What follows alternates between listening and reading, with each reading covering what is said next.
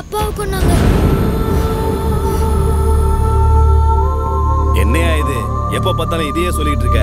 நான் என்ன வேணும் நான் சொல்றேன். எப்ப பார்த்தாலும் பொண்டாட்டி பிரச்சனை பண்ணிட்டு இருக்கா. நாமளும் எவ்வளவு தான் பொறுத்து பொறுத்து போறோம். Driver sir? இங்க ஏதாவது கொலை நடந்ததா? கொலையா? அப்படி எதுவும் நடக்கலையே. ஏன் சார் கேக்குறீங்க? இந்த பையனோட அப்பா அம்மா இங்க கொண்டுட்டதா சொல்றான்? இவனா? இவன் எப்பவுமே இப்படிதான் சார். ஏதாவது ஒரு பஸ் வந்து நின்னுச்சு வைங்களேன். உள்ள ஏறி. அங்க எங்க அம்மாவை கொண்டானுங்க. இங்க எங்க அப்பனை கொண்டாங்கன்னு சொல்லிட்டே இருப்பான் சார். இந்த பையன் கொஞ்சம் லூசு சார். இவன் சொல்றத கேட்டு நீங்க தேவையில்லாம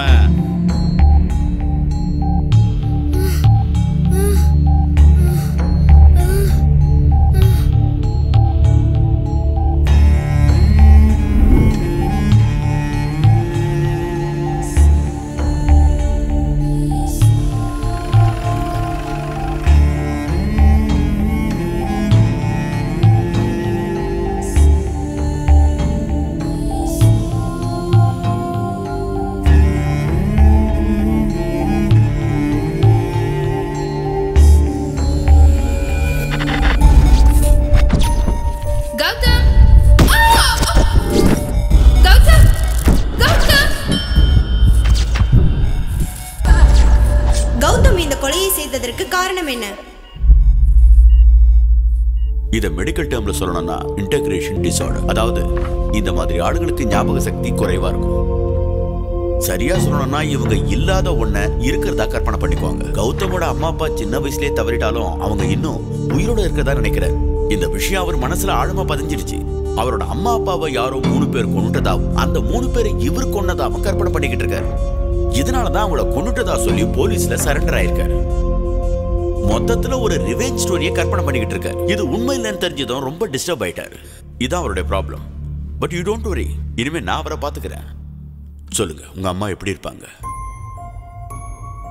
கௌதம் நில்லு. ஓடாத. கௌதம் உங்க அம்மா எப்படி இருப்பாங்கன்னு கேட்டேன்.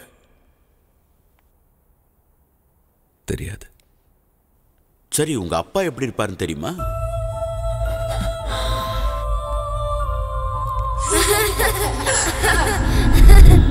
உங்க அம்மா அப்பாவையே உங்களுக்கு ஞாபகம் இல்லை? ஆனா அவங்கள யாரோ கொண்டுட்டதா சொல்றீங்க. சரி உங்க அம்மா அப்பா பேராவது தெரியுமா? தெரியாது. கொண்டவங்க பேராவது தெரியுமா? அதுவும் தெரியாது. தட்ஸ் கிரேசி நான் அவனுங்களை கொன்னது. ஒருவேளை பொய்யா இருக்கலாம். ஆனா அவனுங்க என் அம்மா அப்பாவை கொன்னது உண்மை. எல்லா பேஷண்ட்டும் இப்படிதான் சொல்லுவாங்க. அவங்க சொல்றதுதான் கரெக்ட்னு சாதிப்பாங்க. இந்த மாதிரி எத்தனை பேர் பார்த்திருக்கேன்? நான் சொல்றது உண்மை. நீங்க சொல்றது பொய்ங்கிறதுக்கு ஆதாரமா என்கிட்ட மெடிக்கல் ரிப்போர்ட்ஸ் இருக்கு. இன்டகிரேஷன் டிசார்டர் இதுக்கு என்ன சொல்றீங்க? Do you have any proof ஐயோ இது உண்மைதானே? ஆஃப் கோர்ஸ் டேம் இட் எப்படி தெரிஞ்சது? வலிக்குதியா? இட்ஸ் பெயினிங் மேன் அந்த வலி உன்னை உண்மையை சொல்ல வச்சதுன்னா எனக்குள்ள இருக்கிற இந்த வலி என்ன உண்மையை சொல்ல வச்சது. ஏன்? ஏன் நான் உன்னை கொண்டேன்னு சொல்லலை? ஏன் உன்னை கொண்டதா சொல்லலை? ஏன் உன்னை கொண்டதா சொல்லலை? அந்த மூணு பேர் மட்டும் ஏன் கொண்டேன்னு சொன்னேன்?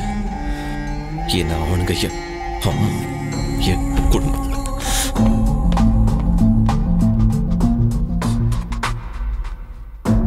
டாக்டர் கௌதமோட நினைவுல இருக்கிற நபர்கள் நிஜத்திலே இருக்கிறதுக்கு சான்சஸ் இருக்கா? இம்பாசிபிள்